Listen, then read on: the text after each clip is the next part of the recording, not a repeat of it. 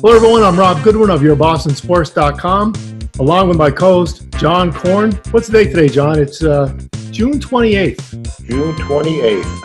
baseball season is getting ready. I'm, I'm so excited about baseball season starting. Yeah, you know, you know, if we if we go back to um, the back and forth between the union and the Players Association, part of me says they should have gotten it together a lot a lot easier.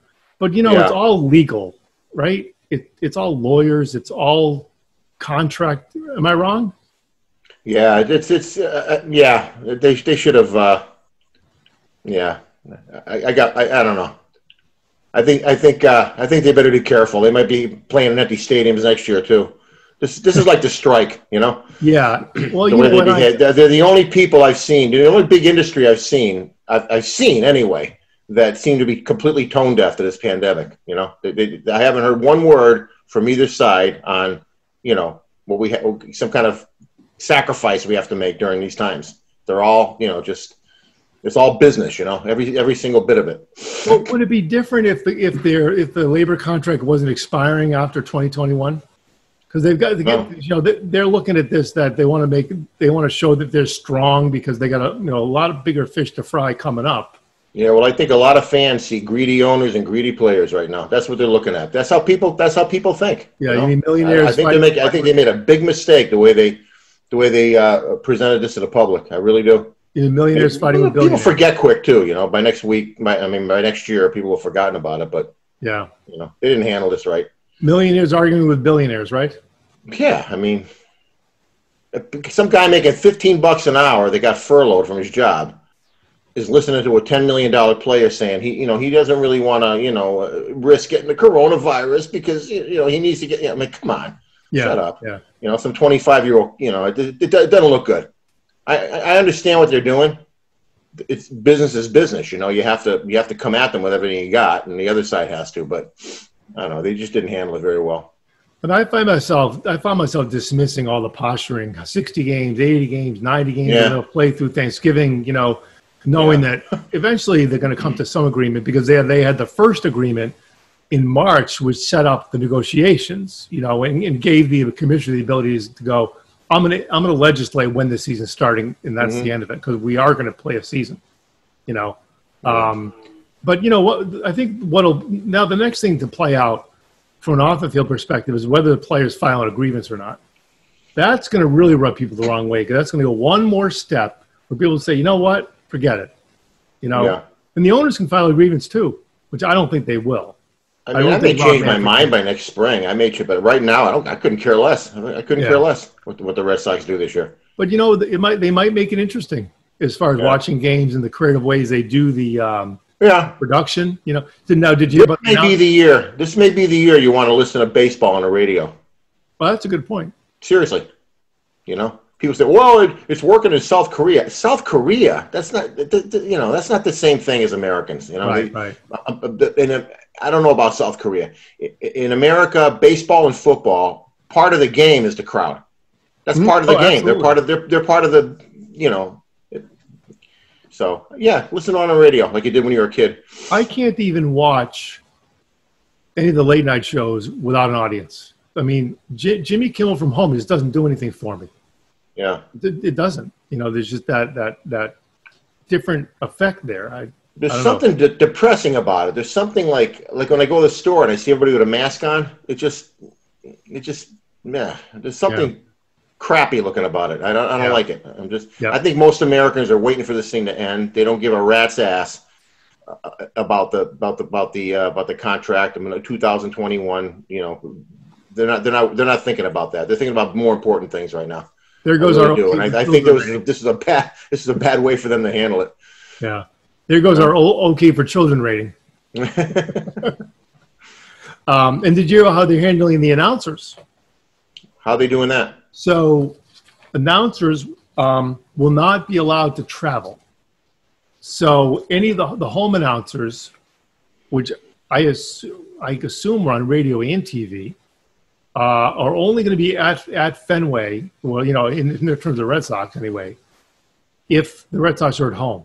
If they're away, then mm-hmm. Dave O'Brien, Jerry Remy, Castiglione, and whoever his partner is, will be will be uh, broadcasting from inside of a studio somewhere, or maybe even be at home. Yeah, you know, uh, which which has been done for international sports by a lot of networks, including ESPN, especially for soccer. You know, they they they um, they use sound booths um, at their location, and so that's been done before. I think they may have a roving reporter um, at the game, but I don't even know if that's like like Jahmai. But I don't even know if that's going to be you know at away games. I have no idea. So it's uh, everything's everything's different. I'm know? hearing I'm hearing a lot of people say you know the the, the the public is hungry for baseball. They're going to they're going to have a lot of people watching. I think the public's hungry for baseball that was before this pandemic. I don't think I don't think people are going to be that interested. I think in a, lot of people are. A lot of people are hungry yeah, for baseball. I don't think they're no. Nah, but they like also Latin, they're not also like a normal season. Yeah, they're also going to miss going to the games. They're also going to miss trying to interact with the fan with, with the players. I think they're waiting for next year. Yeah. And if they screw this thing up with this, uh, you know, contra- uh, this, uh, you know, this uh, labor contract thing, they're, I don't know. I don't know. Well, the problem is, what if a bunch of bunch of players get get infected or coaches get infected? I mean, you know, we have the Travelers Championship golf tournament, PGA tournament in town right now, and a couple of players have already tested positive and left. That's playing golf. That's what's probably you know that's liable to happen. Some, there's going to be some positive testing, and they'll just cancel the season. Yeah, with it. Yeah, that's I, I, would bet on that one. Yep, yep. Well, and then the so, NBA starting up again. The NBA starting up again. They're playing eight quote unquote regular season games to, to finalize the seedings. You know, and when? play like three games, three games when? a day for a while. When are they going to do this? Uh, I I don't have the date. It's very soon mm-hmm. in, in, Orlando, in Orlando at ESPN Wide World of Sports. And they're going to do the playoffs. Yeah. I mean, they're really close to each other, all those players on the court. So I don't know. We'll, we have to see how the, all the all the sports play out. They did have yeah. a race at Stafford Motor Speedway the other night. You know. Did they? Here in Connecticut. Was anybody in the crowd? Was, allowed, anybody? They in? allowed twenty five percent in the crowd. Twenty five percent capacity. Yeah. Which I'm. You know what? Maybe they will. Maybe there will be fans at the baseball game. I mean, okay. August is is July, it's June twenty eighth, right? August twenty eighth is two months away. Right. Two months ago, Connecticut was one of the worst states in the country. The pandemic's almost gone in Connecticut right now. We're yep. one of the best. We're the best one. The last I heard, anyway. Things can change fast. Sam Kennedy said he's not. Fast. Sam Kennedy said he's not ruling it out. People think things. I think people don't think realize how fast something can change. Yeah, yeah. You know, an election or uh, you know, people people tell people tell what's going to happen. Uh, you know, in November, they don't know. Yeah, you, you yeah. know what's going to happen next week. Right. So you know things like you know things like the, the, the pandemic could be gone. Who knows? Sure. We have a vaccine. Into I, I, doubt it, but you know who, who knows? We don't know. True. So let's go through some of the changes. Um, yeah, yeah. Rosters.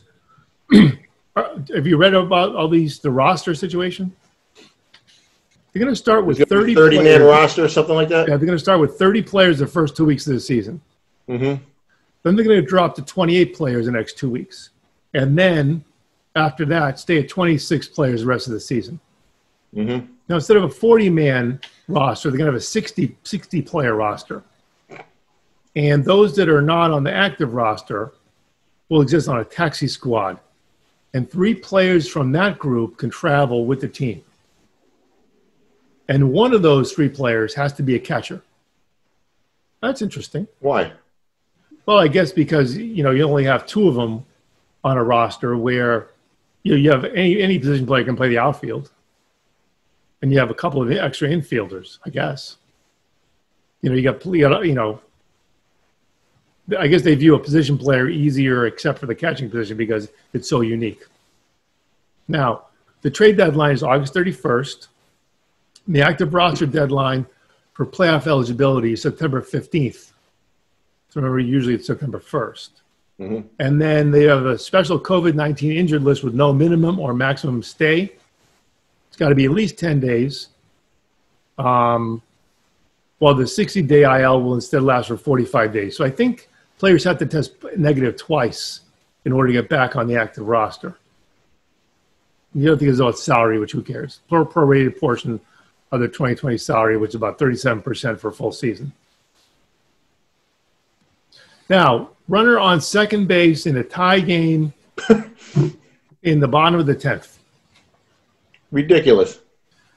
How much strategy do you think is going to play in there in that situation? Like who who who is that last batter in the ninth inning? And who's that runner? You know, what's what's gonna you know how, how's that gonna how's that gonna speed the game up? How in the world does that speed the game? You already got Well- a tenth, tenth inning game. If if it's still tied in the bottom of the tenth, the the uh, probability of scoring a run with a runner on second is infinitely higher than nobody on. Well, they just So- end the game. What's that? Who, yeah, whoever got the most hits that game, let's just let's just end it. You know, yeah, let's let- you know, So like, do you say so in eeny the, meeny miny mo. Let's in the not bottom even. in the bottom line with two outs? Do you put up your speedster and tell them just put the bat on your shoulder and strike out? Mm-hmm. Yeah. oh, But maybe it'll make it exciting and interesting. yeah, yeah. They should implement some other rules too. No spitting. Yeah. No spitting, What are they going to do? no do? brawls, No ball girls or ball, or ball boys. no ball girls, no ball boys, What if- no spitting. You got to chase the ball yourself. Now, how does the how does the umpire, catcher, and batter stand within two feet of each other? How's that happen? No idea. You know, No idea. you got to wear one of those. You know, the things that, like, when you go to the when you go to the hospital, you got the, the, the you know the breathing tube and the yeah. Believe me, if they, if they, if they wear a mask for nine innings, they're going to need, they're gonna need oxygen the whole time. I can't wear a mask going to the grocery store or going outside when it's 80. Unbelievable. Yeah, yeah. So we, we have a little feature that we um, we uh, wrote up. Why don't Yeah. you uh, introduce that? Well, you know, we were thinking about different different ways they could, you know, they could make the game more interesting, speed it up a little bit, and uh, so, some things that some things they might have to take a serious look at. You know, how how are they're gonna. I mean, are they're gonna have an MVP. They have a, a batting a batting uh, Yep, you know batting title, home run title. I mean, how's that? There gonna be an asterisk next to it? Obviously, there has to. I be, have to. You know, but uh, yeah, one of the things is uh, no no they got no they have social distancing. Is going to have brawls if they have a brawl. Well, so should we go through our top 10 list? Yeah, yeah. Okay. So, so this is our top 10 short season differences in baseball. Why don't you start with number 10? Uh, no brawls allowed. Only social distancing, shouting matches. Number nine. Can't, you can't you can't brawl. You can only yell yell yell at the guy from six feet away with a mask on. Play uh, number nine. Players not in the same players not playing in the game, sitting in the stands, sing "Take Me Out to the Ball Game" and "Sweet Caroline." Sweet Caroline. Number eight. Go ahead. Players not in the game, sitting in the stands doing the wave. So there's no fans in the stands, so the players will do the wave. Yeah. Yeah. Number seven. A fly ball caught on the warning track with the wind blowing out, with the wind blowing in, is ruled a walk-off home run. Absolutely. Yeah. Uh, All Star game contract incentives. Fudged about it. Forget about it. Forget about it. All-star game contract. Forget about it. Number five. Nine wins, enough for unanimous Cy Young Award. Oh, absolutely. I could that'd win be like uh, that'd be like 25 wins in a 162 game season. JBJ will win the Gold Glove with five out with five outfield assists. Ah, not, not bad, not bad. Number three, strained oblique, out for the season. Triple Crown is won with 11 home runs Hey, and 100 and, and 45 RBIs. yeah. and the number one short season difference in baseball, the record will be set with five 10-10 guys. 10-10 guys. Yeah, what an accomplishment. Even Jose Canseco couldn't do that. You got you you you got a good chance of a of a quote unquote Triple Crown winner happening. I mean. At, at the at, by Memorial Day, you got a guy batting 350, leading leading the team in home runs. He you know levels out as the year goes on. What do you do with that? You got to you got to throw it out. Yeah, It can't it can't be a you can't really be any records going. there's always a guy that has 10 home runs in the first week. There's Sure. always somebody like that. Yeah, Probably somebody plays in a warm weather climate, you know? yeah. Or or a team. A team is in first place, and they end up in last place by by by September because they Yeah, you know. yeah. I hope the Baltimore Orioles win the division. I, I, hope, I hope the Pirates win their division. Yeah. And the Brewers. Yeah. Pirates, Brewers, Orioles. Yeah. So. I don't know. Well, I, I want to see if if baseball and, and basketball, for that matter, can get through the their the entire, you know, quote unquote regular season and playoffs. That that's going to Yeah. be interesting. You know. I wonder how I haven't looked to see how many NBA teams are truly out of it. You know, it's eight. You know, if they go eight and zero, is it really going to make a difference as far as to get you know last place team getting the playoffs? And if not, do they really care about the season? I, I don't know. The thing I'm curious about is football. I mean, how many people are they going to let in the stands? How they how they going to do that? I'm sure they'll have a football season. That's three months away, right? Yeah, Well, no, actually, two and a half months away. it's gonna it's gonna depend on what the curve looks like in in, in a lot of places. Yeah. You know, it's gonna it's gonna. I mean, if you look if you look at what it was like here in the New York uh, tri-state area, it was horrible three months ago. Now it's almost gone. So Yeah, it, it, yeah. if if they do the social distancing and the, and the mask and all that stuff, it could go away fast. Mm, Europe is gone. Italy, Italy was the Yeah. worst country in the world. It's gone. right, right. You know. Yeah, I mean, you know, there are four states where they're saying it's it's, it's on the road to being contained, and Connecticut, obviously, one of them. Yeah. I heard Connecticut's the best state right now. It's, it's Connecticut actually has the best. As the, Connecticut's the best state as far as consistent declining in the country. Massachusetts and Rhode Island, Massachusetts and New, was it Connecticut, Massachusetts, New York, New Jersey? I think are the four right Mm-hmm. now. because it was so because it was so bad. You know, they listened here. Yeah, You know, so maybe uh, Texas and Florida they'll they'll they'll do what they they'll do what we did. You know, well, unfortunately, they they um they got to start doing it all over again. right? You know, So yeah, I remember I remember the, the the last time my wife and I went out to dinner in March. You know, they already had lighted signs up on the streets. You know, flatten the curve. You know, little did we know how far away from flattening the curve we were at that time. Far away, you know. I never. Oh, I mean, I thought this would be long gone by now. Yeah, and I told you, know, I think Oh I told you I went to a concert March fifth. That was about the last, the last day or close to the last day where you could where anything like that happened. That, that was and it. uh, I was this even, week, a week from now is July. Ju- A week from now is July fifth. yeah, yeah, So we're talking four months. yep. Unbelievable. Well, so I want to let everyone everyone know you're probably noticing if you're watching this on YouTube, there's a subscribe button in the lower right hand corner. Uh, this is new. Feel free to subscribe to our YouTube channel. All of our videos like this will be on YouTube as well as Facebook, Twitter. Mhm. Inst- I don't know about Instagram. Maybe too long. We'll have to see. But um, you know, please click subscribe in the, in the lower right corner, the little red button, so you can uh, keep up to date. We hope to do these every every um, every once in a while, maybe more often than usual. Um, and I think we're um, we got the technology down in the uh, the Central Connecticut studio where I am, and, and John, you're in the Northern Connecticut studio. Northern Connecticut studios. Yes. Yep. So the technology is down pretty good, I think. And um, we got to look for more guests. Got to be more than just. Yeah, I thought I thought we see your friend Steve there. uh, he, I think he's working today. Yeah. I think he's working today. Yeah. And Flanagan couldn't make it. I asked Flanagan. He couldn't make it. So, um, you know, maybe we'll see us do a surprise guest or two next time. Yeah. So, well, onward to baseball. I know. So I, I, my favorite, my favorite one is no brawls allowed. Social distancing, shouting matches. You know, put put your ma- make sure you have your mask on and be six feet away and scream at each other. I think that's go. the, yeah.